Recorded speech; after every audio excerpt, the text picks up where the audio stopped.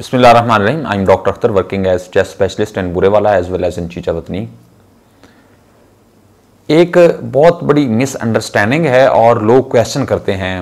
Usually میرے سے پوچھتے ہیں کہ ڈاکٹر صاحب دودھ اور کیلا بلغم بناتے ہیں، کیا کھائیں یا نہ کھائیں؟ تو میں نے سوچا کہ اس کے بارے میں ان ڈیٹیل بتایا جائے تاکہ یہ ایک مس انڈرسٹینڈنگ جو ہے وہ غلط فہمی وہ ختم ہو۔ سب سے پہلے تو میں آپ کو کہوں گا، جتنے بھی ایزما کے یا دما کے مریض ہیں یا نزلہ زکام والے ہیں یا الرجی والے ہیں، اگر ان کو اسپیسیفکلی ان چیزوں سے نہیں ہے، ان کے لیے ہے کہ آپ دودھ اور کیلا لازمی لیں۔ آپ دودھ پئیں اور کیلا کھائیں۔ میں دوبارہ رپیٹ کر رہا ہوں کہ اگر آپ کو ایزما ہے اور ان سے اسپیسیفکلی الرجی نہیں ہے، تو آپ دودھ بھی لیں، کیلا بھی کھائیں، یہ بلغم بالکل نہیں بناتے۔ اب اس میں یہ مس انڈرسٹینڈنگ کیوں ہے؟ اور اس سے نقصان کیا ہوتا ہے وہ میں اب ان ڈیٹیل بتانا چاہوں گا۔ یاد رکھیں جو دودھ ہے، اس کو ہم ایک فل ڈائٹ کہتے ہیں۔ فل ڈائٹ کیوں کہتے ہیں؟ اس کے اندر کوئی سکس سیون کمپوننٹس ہیں جو بڑے سٹرونگ ہیں اور آپ کی باڈی کو ہیلپ کرتے ہیں۔ نمبر ون اس میں کاربوہائیڈریٹس بھی ہیں فیٹ بھی ہے پروٹین بھی ہے۔ جو کہ آپ کی باڈی کی مین کمپوننٹ ہے، آپ کی نیوٹریشن کا ایک مین کمپوننٹ ہے۔ اس کے اندر کیلشیم ہوتا ہے، جو آپ کی ہڈیوں کو مضبوط بناتا ہے۔ فاسفورس ہوتا ہے، جو کہ ہڈیوں کی انوالومنٹ اس میں ہوتی ہے مسلز کو سٹرونگ کرتا ہے۔ اسی طریقے سے کچھ اور نیوٹرینٹس ہوتے ہیں، جو کہ آپ کی باڈی کو مضبوط بناتے ہیں۔ مسلز میں ان کا رول ہے اسپیشلی برین کے لیول پہ جو امپلسز موو کر رہی ہوتی ہیں الیکٹریکل امپلسز ان میں رول ہے، کچھ چینلز پہ وہ کام کرتے ہیں. کچھ انزائمز میں ان کا بہت بڑا رول ہے. تو اس طریقے سے، اور اسپیشلی اس میں ایٹی سیون پرسینٹ تک واٹر ہوتا ہے جو آپ دودھ پیتے ہیں. تو وہ آپ کے جو پانی کی ضرورت ہے اس کو بھی پورا کرتا ہے. تو اب یہ سارے بتانے کا مقصد یہ ہے کہ جو دودھ ہے، یہ آپ نے لازمی لینا ہے. اگر آپ کو ایزما ہے تو آپ لازمی لیں. صرف یہ ہے کہ بہت زیادہ ٹھنڈا نہ ہو. نارمل دودھ اگر ہے تو آپ لازمی لیں. تو یہ آپ کو فائدہ دے گا۔ اب اس کے چھوڑنے کی وجہ سے کیا ہوتا ہے؟ چھوڑنے کی وجہ سے یہ ہوتا ہے کہ آپ کی باڈی میں کیلشیم نہیں جا رہی، جس کی وجہ سے ہڈیوں کی ویکنس ہوتی ہے اور لوگ عام طور پر ایزما والے درد کی بات کرتے ہیں۔ سر سے پاؤں تک دردیں ہو رہی ہوتی ہیں، کمزوری ہوتی ہے فٹیک کی بات کرتے ہیں۔ تو اس کی بیسک وجہ یہ ہے کہ وہ دودھ نہیں پیتے۔ کیوں نہیں پیتے؟ اس مس انڈرسٹینڈنگ کی وجہ سے کہ دودھ جو ہے وہ بلگم بناتا ہے۔ تو جناب، دودھ بالکل بلگم نہیں بناتا۔ آپ نے یہ دودھ کو لازمی لینا ہے، جتنا بھی آپ پی سکتے ہیں پیئیں بلگم نہیں بنائے گا، بلکہ آپ کو ہیلپ کرے گا آپ کے ایزما کے علاج میں اور اس کے ساتھ ساتھ آپ کی ہڈیاں مضبوط ہوں گی۔ اور اگر آپ دودھ نہیں لیں گے، تو اس سے آپ کی ہڈیاں بھی کمزور ہوں گی، آپ کا دمہ بھی خراب ہوگا اور اس کے ساتھ بلگم اس لیے بنے گی کہ آپ کو بار بار انفیکشن ہوں گے، کیونکہ آپ کا آسابی نظام کمزور ہوتا ہے دودھ نہ پینے کی وجہ سے۔ تو یہ تھا جو دودھ کی مس انڈرسٹینڈنگ ہے، اس کا حل کیا ہے۔ دوسری اب میں بات کرتا ہوں کیلے کے بارے میں۔ اب بہت سارے لوگ کیلا نہیں کھاتے کہ وہ بلگم بناتا ہے اور اس کا بڑا وائڈلی سوال کیا جاتا ہے اور تقریباً روزانہ ہر کوئی، ہر پیشنٹ یوزلی کر رہا ہوتا ہے یا ہر دوسرا کر رہا ہوتا ہے۔ اب یاد رکھیں کہ کیلے کے اندر کچھ چیزیں جو کچھ کمپوننٹس ہیں، ان کو میں ون بائی ون بتاتا ہوں۔ کیلے میں وائٹامن سی ہوتا ہے۔ اب وائٹامن سی کیا کرتا ہے؟ یہ آپ کی سکن کے لیے بڑا امپورٹنٹ ہے۔ ساتھ کے ساتھ جو آپ کی سانس کی نالیاں ہوتی ہیں، ان کے اوپر ایک ہوتی ہے ایپیتھیلیم ہم کہہ سکتے ہیں کورنگ جی، جس طرح یہ ہماری جلد ہے ایسے کورنگ ہوتی ہے۔ تو اس کو گرو کرنے میں، اس کو ہیلدی رکھنے میں اس کا بڑا رول ہوتا ہے۔ تو اگر آپ کیلا نہیں کھاتے تو آپ وائٹامن سی نہیں لیتے، آپ وائٹامن سی نہیں لیتے تو آپ ڈیفینیٹلی آپ کی جو ایپیتھیلیم وہ وہ مضبوط نہیں ہوتی، جس کی وجہ سے آپ کو بار بار انفیکشن ہوتے ہیں۔ تو نمبر ون یہ کمپوننٹ تھا، اس لیے آپ لازمی کیلا کھائیں۔ دوسری چیز ہوتی ہے کیلے میں مینگنیز ہم کہتے ہیں۔ وہ بھی اس کا بھی رول سکن میں ہے اور ایپیتھیلیم میں ہے۔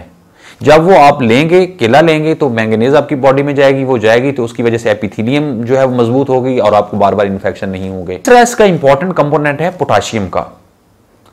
اور پوٹاشیم کیلے میں میکسیمم لیول تک ہوتا ہے۔ پوٹاشیم کے دو فائدے ہیں۔ ایک تو آپ کو بار بار انفیکشن نہیں ہوتے۔ دوسرا یہ ہے کہ آپ کی جو مسلز ہیں، ان کی ان کو سٹرینتھ کرنے میں، ان کو مضبوط کرنے میں اس کا بہت بڑا رول ہے۔ تو اگر آپ کیلا لیں گے، تو آپ پوٹاشیم لیں گے۔ آپ پوٹاشیم لیں گے، تو آپ کی باڈی کو آپ آپ اسٹریتھن کریں گے، اس کو مضبوط کریں گے۔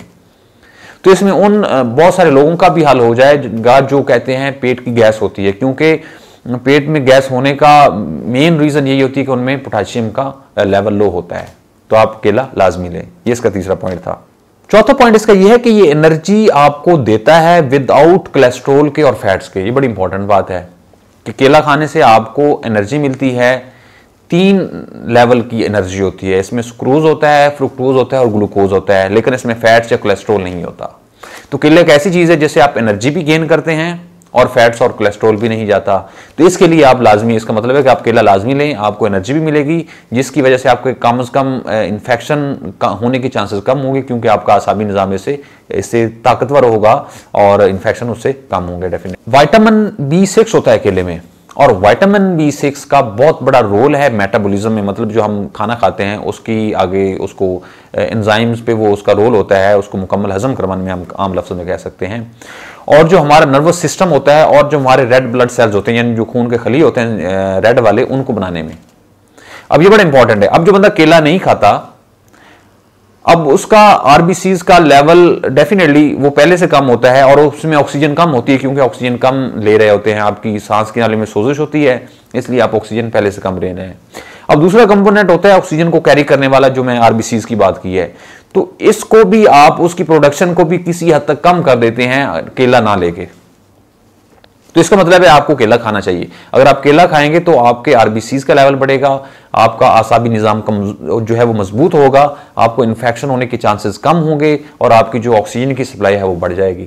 تو اس کے لیے آپ کیلا لازمی کھائیں۔ اس کا مطلب- اگلا امپورٹنٹ چیز جو یہ پروڈیوس کرتا ہے کیلا وہ ہے سیروٹونین تو سیروٹونین جو ہے وہ ہماری ہیپینس میں، ہمارے موڈ چینجز میں اس کا بڑا رول ہوتا ہے برین میں اس کا بہت بڑا امپورٹنٹ رول ہے. تو ایزمو والے مریض عام طور پر ڈپریس ہوتے ہیں ٹو سم ایکسٹینٹ کیونکہ یہ پرانی لمبی بیماری چل رہی ہوتی ہے اور ان کے جو رشتہ دار ہیں وہ بھی کسی حد تک ایگزاسٹ ہو چکے ہوتے ہیں. تو بہت سارے پیشنٹ جو ہے نا وہ ڈپریشن میں ہوتے ہیں انزائٹی میں ہوتے ہیں. تو کم از کم ان کے لیے یہ بھی اس کا بھی بڑا رول ہوگا.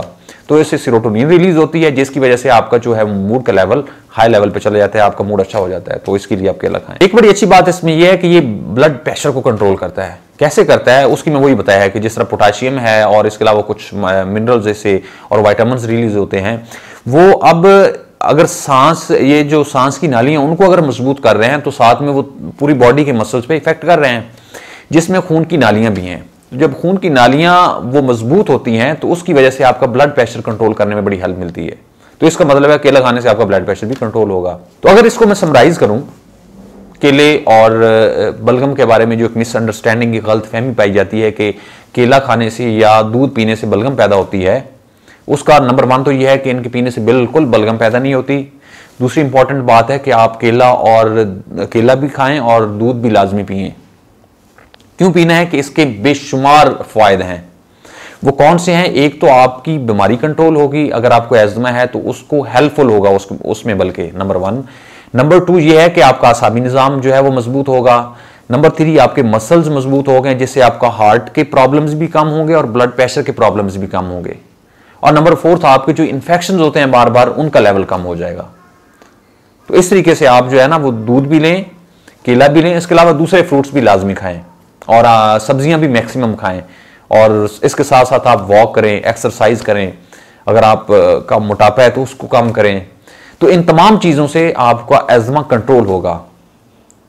اگر اس کے علاوہ آپ کوئی کوشچن مس انڈرسٹینڈنگ ہماری پائی جاتی ہے یا آپ کے ذہن میں کوئی کوشچن ہے جو ہماری سوسائٹی میں پائے جاتے ہیں اسپیشلی ایزما کے بارے میں، یا بلڈ پریشر کے بارے میں، یا شوگر کے بارے میں، یا کچھ میدے کے امراض ہیں ان کے بارے میں، تو موسٹ ویلکم میں کوشش کروں گا جس طرح اس کا ایک لاجیکلی آپ کو جواب دیا اور یہ ریسرچ بیس ہے، تو آپ، میں آپ کو ان کا ایویڈنس بیس اور ریسرچ بیس جو ہے وہ رپلائی کروں گا۔ آپ نیچے کمنٹس میں پوچھئے، انشاءاللہ آپ کو جلدی اس کا ویڈیو کی شکل میں رپلائی کیا جائے گا۔ اللہ تعالیٰ آپ کا اور آپ کے گھر والوں کا حامی ناصر ہو۔ اللہ حافظ۔